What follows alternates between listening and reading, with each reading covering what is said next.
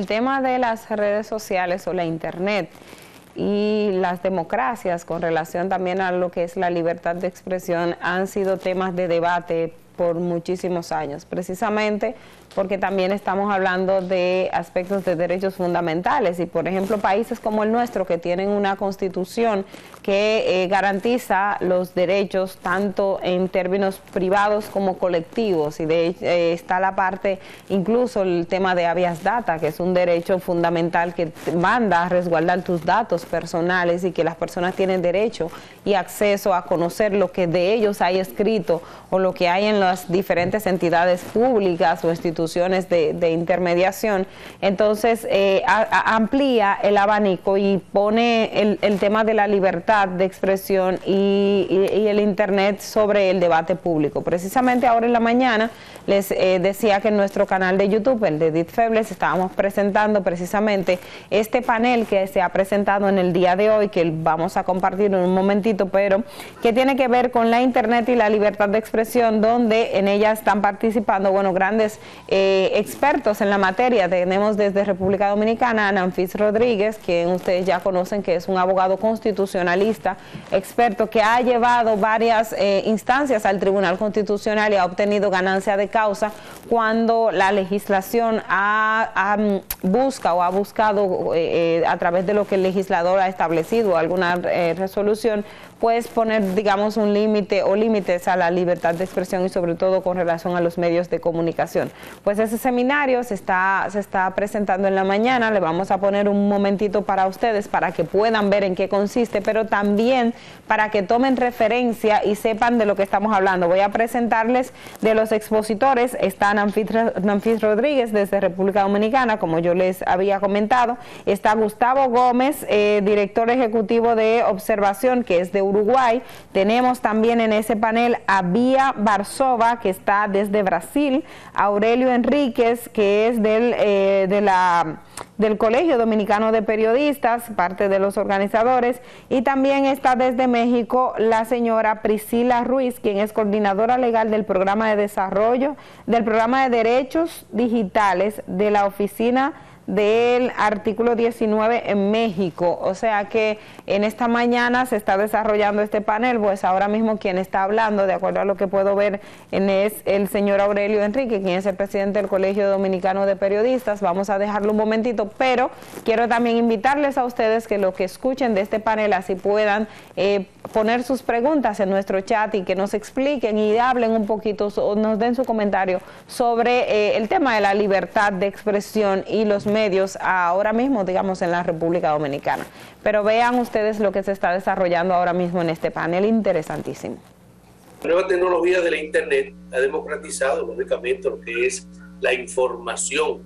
de una forma horizontal. Antes tú tenías que el medio te hacía una información, esperaba al día siguiente o esperaba el noticiario en la tarde o al mediodía. Y ahora eh, esta participación se ha hecho de manera instantánea, rápida y te llega a nivel del mundo y te pone en contacto directamente con los usuarios que, o los lectores, como nosotros decimos. Lo que sí ha obligado a cambiar es la forma de hacer negocios, hacer negocios en los medios de comunicación funcionar como medio conectado a la red. Antes, un diario impreso imprimía muchas veces 50 mil ejemplares distribuidos a través de sus lectores, los podrían leer, sus contenidos, unos 100 mil o quizá más, pero ahora, utilizando las redes sociales de la Internet, este, este mismo periódico podría llegar a miles y miles de personas y a nivel del mundo. Creemos que los propietarios de los medios y los periodistas deben concebir una nueva forma de mantenerse vigente en, y decidir si el producto, si los productos informativos eh, lo hacen de lectura gratis y vender publicidad para mantener o cubrir sus costos, o diseñar un modelo de abonados que por una paga mensual o anual el usuario acceda o los usuarios accedan a los medios informativos en línea. De acuerdo a un estudio realizado por el Instituto de Reuters hace recientemente en 46 países, que, revela que el acceso a los medios utilizados para leer contenido de noticias, el 82% usan canales en línea, el 61% eh, televisión y el 67, eh, 57% eh, de las redes sociales y el 23% utiliza el medio de periódico físico. En la mayoría de los países europeos, por ejemplo, los usuarios prefieren comprar servicios informativos suscribiéndose, suscribiéndose a periódicos que realizan contenidos en línea. En la versión digital, por ejemplo, Noruega es un país que tiene una, una cantidad de, de, de, de, usuarios de Internet muy, muy alta, y, pero el 41% prefiere pagar para acceder a contenidos de noticias en línea. Suiza, Suiza por ejemplo, tiene un 33%, Finlandia 19%, Dinamarca 18%, por citar uno de los países eh, con mayor poder, eh, eh, mayor desarrollo, mayor respeto a lo que es a la libertad de expresión y difusión de pensamiento. Y a nivel mundial, un 16% prefieren pagar para estar informados. En el caso de América Latina, tenemos una media que oscila entre, entre un 10 y 12%. México ha aumentado en los últimos meses eh, un 18%. Esto indica que el trabajo de los periodistas profesionales en los medios de comunicación es una garantía de información de interés público. Hay algunas, algunas eh, gráficas que quería eh, colocar. Por ejemplo, la población mundial eh, tenemos actualmente un 7.9 mil billones, millones de habitantes, pero de estos tenemos aproximadamente 5 mil 300, millones, es decir, que un 63.1% está conectado a las redes digitales. Usuarios activos en las redes sociales eh, son unos 4.7 billones, eh, es decir, un 59% utiliza redes sociales según la fuente de Data Report, de 2022 que hemos desarrollado. También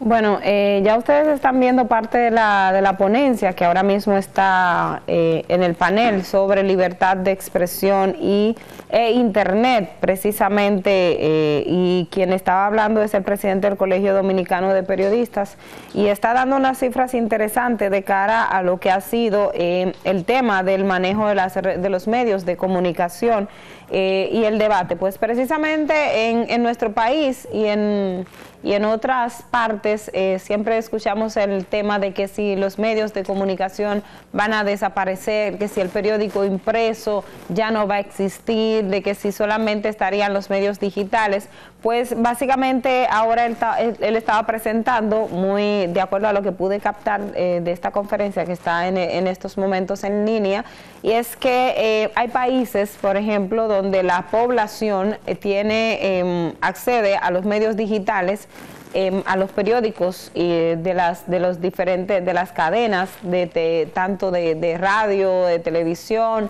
eh, pagando el acceso a Internet. Es decir, por ejemplo, ustedes ven el New York Times, no sé si algunos de ustedes o los, que, los dominicanos que están en Estados Unidos conocen que el New York Times, el Washington Post o los que están en España también conocen que el periódico El País, en cierta, hay algunas, algunas eh, digamos, secciones donde para tú tener acceso tienes que pagar una mensualidad. Por ejemplo, en el caso del Washington Post y el, New York Times lo sé porque en el, eh, yo estoy suscrita, o sea, para tener un contenido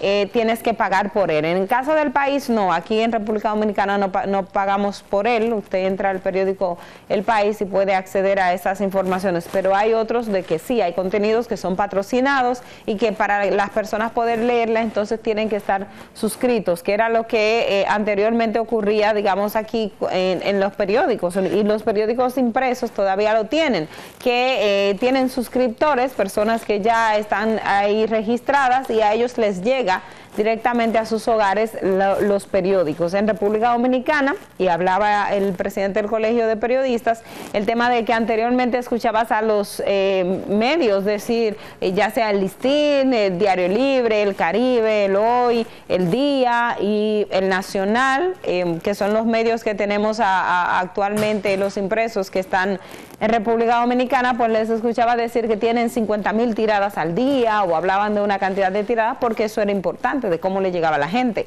Ahora con Internet, pues eh, se llega a los hogares en tiempo real. Por eso ustedes ven que los medios de comunicación tienen una gran inversión en plataformas digitales para poder comunicarse con eh, los demás eh, o para comunicarse con la sociedad y mantener a, las personas que vayan a sus plataformas. ¿Por qué? Porque hay quienes eh, también está el debate de que si los medios de comunicación en algún momento van a desaparecer. Y es lo que planteaba en el caso del presidente del Colegio Dominicano de Periodistas, que ah, con estadísticas que ha mostrado que en países donde el, 80, el 36% de la población paga para obtener contenidos en línea de periódicos, entonces implica que el buen periodismo, el trabajo bien realizado, pues recibe sus, digamos, sus recompensas, que la gente, hay una gran población que si bien eh, ahora hablamos de que eh, siempre se culpa a la juventud, pero a mí no me gusta en estos términos porque sí existen y, ya vemos jóvenes que, o hay jóvenes que, que, están actualizados y la, la, demostración la han hecho en eh, Chile, en Colombia o aquí en nuestro país con el tema de Marcha Verde y lo que representó, digamos, las elecciones pasadas, que fue la juventud la que se empoderó. Entonces, hay muchos espacios donde el contenido de calidad la gente paga por adquirirlo. En nuestros países, eso no está tan desarrollado en América Latina. El promedio, de acuerdo a lo que él acaba de plantear, está entre el 10 y el 12%. México tiene un 18% de la población que paga por, eh, recibir contenidos de los medios de comunicación,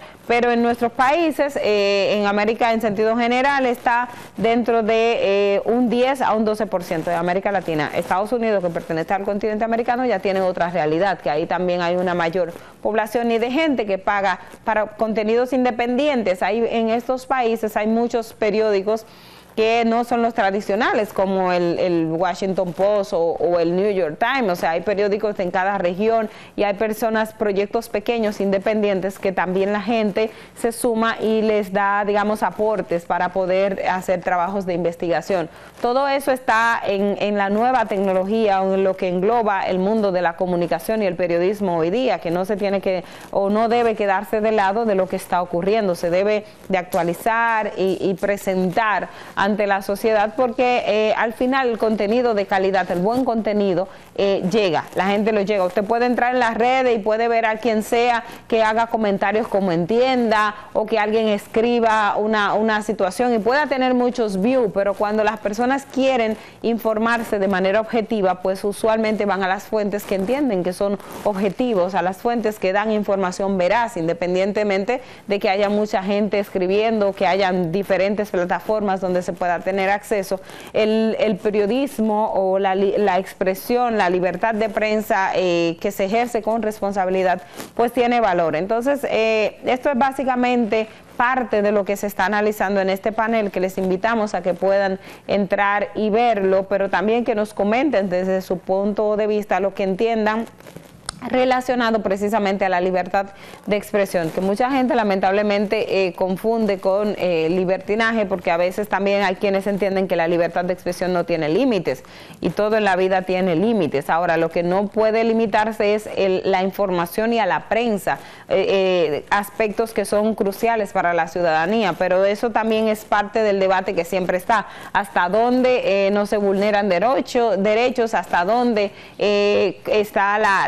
esa línea divisora entre el derecho a información, el derecho a prensa y el derecho a la intimidad personal, el derecho eh, privado que tenga la persona, sobre todo aquellos cuando están en procesos judiciales, que es donde más eh, situaciones se dan o los que son figuras públicas, en el caso de los artistas, eso casi siempre es un tema de debate, de qué tanto eso es privado, qué tanto no es privado, o sea que todo, todo este tipo de cosas también se da y este panel dentro de él entiendo que pueden encontrar respuestas a esas diferentes eh, situaciones que se dan y, o esas preguntas que la gente puede tener. Así que les invito a que puedan escribirnos y que nos puedan plantear eh, sus dudas con relación a este tema y les garantizamos que una vez también termine la cosa como es, si el panel permanece, eh, si no ha concluido el panel, pues lo vamos a seguir transmitiendo para que ustedes puedan alimentarse o retroalimentarse de lo que, de lo que ahí se está hablando. Pero básicamente este es el, es el contexto, invitarles a seguir eh, este tema que es importantísimo para la República Dominicana. Vamos a hacer una breve pausa y entonces retornamos con más contenido de la cosa como es, porque hay informaciones que son de suma relevancia para nuestro país y que eh, también para, para el país vecino y que entendemos que debemos de abordarlo porque son, son cuestiones eh, de, de interés, son de interés, son de sumo interés, es lo más que, que puedo explicar. Vamos a la pausa.